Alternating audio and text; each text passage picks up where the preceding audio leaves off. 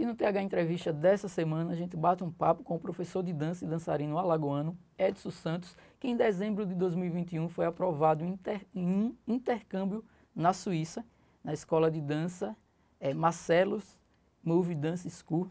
Mas, para ele realizar esse sonho, precisa da nossa colaboração. Edson vai ter a estadia, mas locomoção, passagens e alimentação fica por conta do aluno, né? Edson, seja bem-vindo ao TH Entrevista. Você passou nesse intercâmbio, com certeza está feliz, é um sonho, mas para isso, para realizar, você precisa é, de uma certa quantia, né? Que não é algo tão simples, algo barato, mas que você está na luta. Inclusive, uma campanha está sendo realizada, né? Exatamente, exatamente. Muito obrigado pelo convite, desde já. Né? E é, um, um é uma viagem, um, um, um, prêmio, né? uma missão que foge um pouco da, da, da, da minha condição financeira e por isso que eu levantei uma campanha para que os amigos, as pessoas que acompanham o meu trabalho, que, que sabem que eu, que eu sou uma pessoa séria, sou formado em dança, tenho um trabalho legal aqui em, em Alagoas, em Maceió. Né?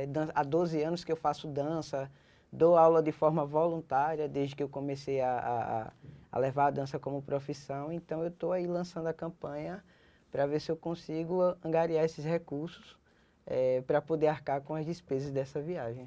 Edson, o intercâmbio dura cerca de três meses, não é isso? E a estadia, a escola, ela disponibiliza.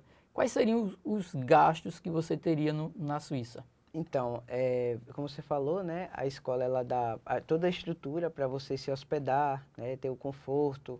É, e a gente tem que bancar a passagem, tem que bancar o seguro saúde, o seguro viagem tem, e tem que ter uma certa quantidade de, de dinheiro para poder se manter durante os três meses lá, uma vez que a moeda da Suíça né, é, é muito cara, né? É tão mais cara que o euro e que o dólar, né?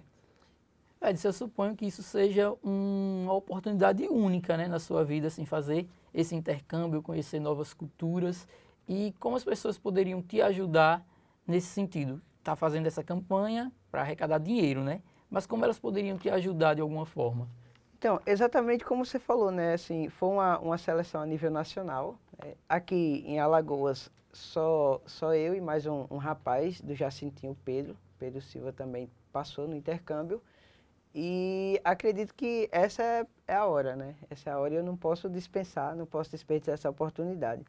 É, eu fiz a campanha, né, eu comecei a campanha é, disponibilizando um Pix, uma conta, para que as pessoas que quisessem doar alguma, alguma quantia, mas também solicitei que se alguém tivesse alguma coisa para que eu pudesse é, ganhar esse dinheiro, trabalhar, né, eu também estaria disponível. Né, desde o, o começo da pandemia que eu não, não tenho emprego fixo. Né, e eu estou aí na luta também. Eu, eu comecei no tempo livre a vender jujuba no ônibus, né, que seria uma outra forma de também de, de, de juntar essa grana, de levantar esse, esse valor necessário. Edson, para quem ainda não te conhece, acho que muita gente já te conhece e já, já participou de alguns espetáculos que você apresentou. É, conta um pouco da sua história, como você começou na dança? É, então, eu comecei na dança quando eu tinha 14 anos, que uma professora, eu sou de Tanque d'Arca, na verdade, eu não sou de Marcel, eu cheguei aqui faz 12 anos, quando eu ingressei na universidade, e com 14 anos eu comecei a, a, a, experimentar a dança através de uma professora de Palmeira dos Índios, que foi para Tanque d'Arca.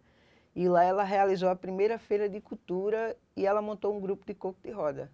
E desse grupo de coco de roda, eu fui a única pessoa que consegui... É, é, que eu consegui é, fixar a experiência e consegui passar para outras pessoas. Então aí eu fui, era convidado para dar aula nas escolas, Aí montei um grupo, comecei a viajar com esse grupo e quando eu soube que tinha um curso de dança na universidade, e aí que eu soube que realmente era uma profissão, porque geralmente quem dança acha que dançarino, professor de dança não é profissão. É um hobby apenas. É um hobby, né? Entretenimento, né? Que pode ser também, né?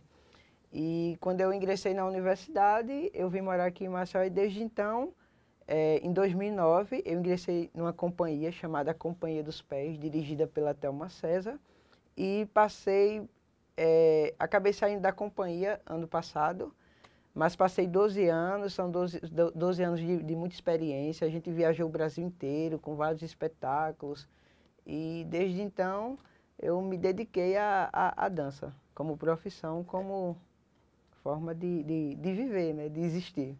Edson, como você vê essa oportunidade de fazer esse intercâmbio?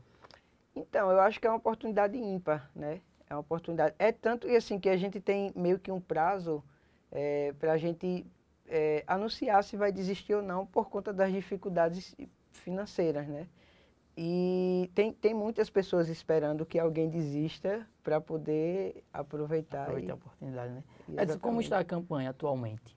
Então, a campanha está todo mundo numa situação financeira meio complicada, né? E eu estou correndo atrás, né? Tem, tem o, o, o, prefeito da minha cidade se pronunciou, disse que vai dar uma força, mas também ainda não é o suficiente. Eu estou vendendo minha jujuba diariamente o que aparece que como trabalho, como garçom, trabalho, infelizmente o carnaval, que é a época que eu ganho, levanto mais dinheiro, né, que eu não, não teve, já são dois anos sem carnaval, eu sou professor especialista em frevo, danço pro Pinto da Madrugada há 12 anos também, e infelizmente essa época era a época que eu mais ganhava e não aconteceu, né? Mas eu estou com a quantia, né, que algumas pessoas depositaram no Pix através da campanha, mas ainda falta muito. Edson, já tem uma noção de quanto você precisaria para ficar esses três meses na Suíça? Então, eu, se, se eu for juntar passagem, seguro viagem, alimentação, a locomoção lá, vai dar uns 16 mil reais. 16 mil. É, para a situação atual, né, seria é algo complexo, bem é. grande. Edson, é, para quem quiser te ajudar, você pode deixar o número de telefone, o Pix, é, enfim, né? Empresas que também que se interessar, algum político, toda ajuda é bem-vinda, né? Com certeza. Inclusive, quando eu vou pedir ajuda para as pessoas, né? Para pedir o, o, Eu sempre digo que eu posso negociar uma contrapartida. É tanto que lá na minha cidade, né? Como prefeito, eu, eu organizei que quando eu voltasse, eu iria, a gente ia montar um projeto né, para adolescentes e crianças que eu ia passar o mesmo período, é, não todos os dias, mas escolher um ou dois dias na semana e durante três meses eu ia executar um projeto de dança como contrapartida. E eu lanço para as pessoas também. Se não, se não quiser é, colaborar, me ajuda aí com emprego, sei lá, com uma forma, qualquer forma de, de ganhar esse dinheiro para poder realizar essa viagem. Eu disponibilizei um Pix, que é o meu telefone, 829-9945-7872. E tem uma conta também que vocês podem dar uma olhada lá no Instagram, que é uma conta caixa.